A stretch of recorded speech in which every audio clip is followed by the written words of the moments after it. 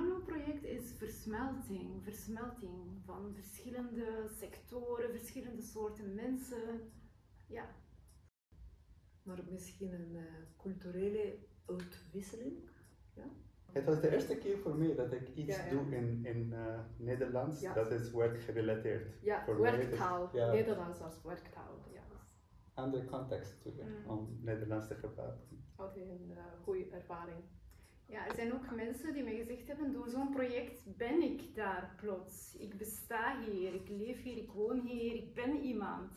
Ze hebben echt een gevoel van ja, nu, uh, nu ben ik hier. Ja, voor mij, ik, ik had een formele relatie met Nederlands, omdat ik altijd gebruik het voor testen en examen om ja. taal te leren. En nu het is meer een informele relatie. Ik, ik gebruik het Je kan er iets mee doen. Ja,